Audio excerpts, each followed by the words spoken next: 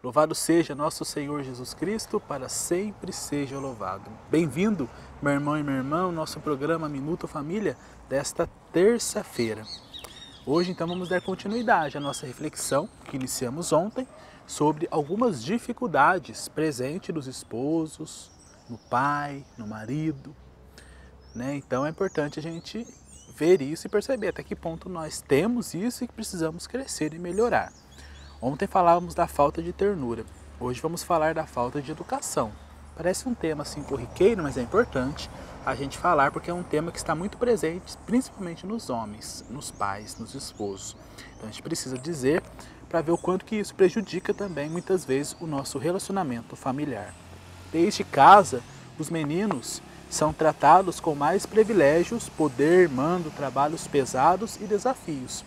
É muito comum isso, né? Os pais muitas vezes tratam de forma melhor, por exemplo, o, os filhos homens, né? Os filhos homens são tratados com mais privilégios, muitas vezes, né? Sempre é o queridinho da, da casa, né? Então é isso está muito presente dentro da família. E o machismo, por exemplo, ele vem de longe, né? Ele já vem de uma de muitas vezes podermos exercer isso né, dentro de casa. Né? E por isso então é preciso tomar esse, esse cuidado muitas vezes. As agressões físicas e morais, as atitudes de grosseria, de mando e de autoritarismo comprovam a falta de educação. Né?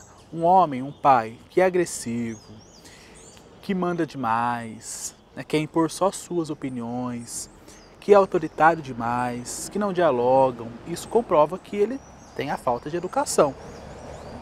Falta de educação para o afeto, falta de educação para a sensibilidade, falta de educação para a convivência familiar e falta de educação para o diálogo.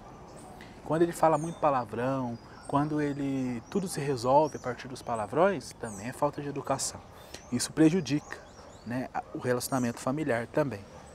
As desarmonias a respeito de roupa, religião, esporte, amizades e boas maneiras denunciam o despreparo dos homens para essas dimensões na vida conjugal. Até o jeito de vestir muitas vezes fala quanto que eu tenho educação ou não.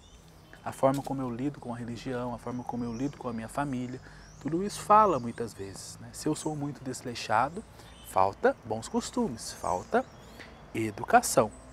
Por um lado, o esposo que colabora na educação dos filhos, na arrumação da casa, na convivência com os parentes, do outro lado e na dimensão religiosa, é um verdadeiro exemplo para esposa e filhos. Nem tudo está perdido, né?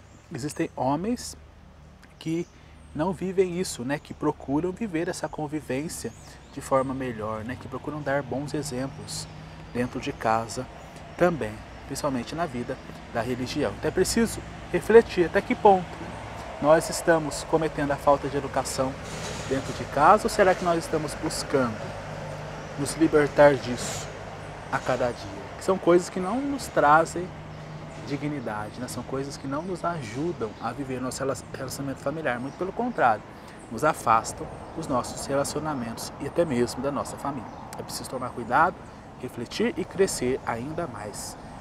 Que Deus te abençoe. Em nome do Pai, do Filho e do Espírito Santo. Amém.